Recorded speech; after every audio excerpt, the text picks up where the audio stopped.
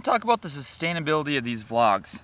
Yesterday marked vlog like one five. It was the 15th vlog of the daily vlog series. Put that into perspective, every year I did about 30 vlogs. So 30 vlogs in 12 months and I just did 15 in 15 days. That's kind of crazy.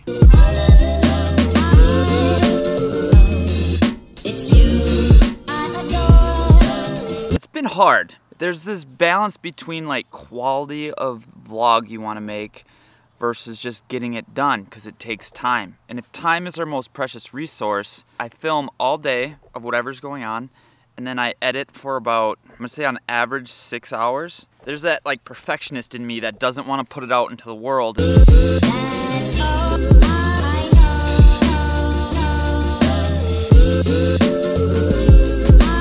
I don't know if you guys have ever seen, but those the guys who made South Park, they make an episode of South Park in seven days, and they have the same problem. They did it before; they would overthink it and change it and tweak it until it was like something they didn't really recognize anymore, and they just hated it. But when there was a deadline, it forced them just to put it on the air. I deal with that every single day. I have this idea in my head, and the vlog never, ever matches that with every like art form, like I've, there's like there's a point where everyone always talks about trying to find their voice. From the original pole vault blogs, my voice was I'm just gonna I'm gonna film my training and, and, share and hopefully connect with people that way. There was that connection there. I didn't even know why it was working. Now doing these all over again, it's almost like I just threw away all that and started over, which is super scary and exciting.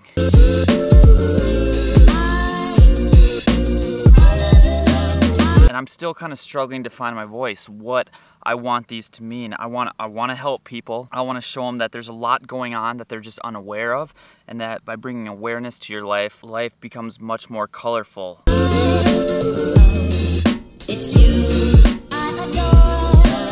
By the way, my mom sent me this picture the other day. Now, I could be really mad, which Carrie was. Deer's goal is to get food and survive. So, a deer's just being a deer. Can't really be mad at a deer for that. If I was a deer and I was hungry and there was a whole big square full of food, I'd probably eat it too. So enjoy our garden. But next year I will put up a better fence and see if you can get in there that way. So 15 days in, and I've experienced a lot, and there's been a lot of new adventures and a lot of people I've met. And these videos hold me accountable, they push me out to go experience things. Um, I knew it was gonna be hard, and it was super scary, and it's still really scary and I get really tired. So I'm trying to find a way to be a little more self-sufficient. I'm sitting here and I want to continue to do daily vlogs after this month is over. But how can I sustain it without losing my mind? that's, kind of, that's kind of the problem. I don't really know what I'm trying to get at, is, but I want to just say thank you. Thank you for watching so far. We're halfway through this month journey.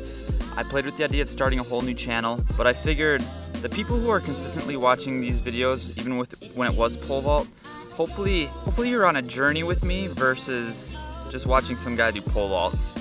That was the reason why I stuck with one channel. Thank you. Here's to 15 more, and then we'll see where we're at.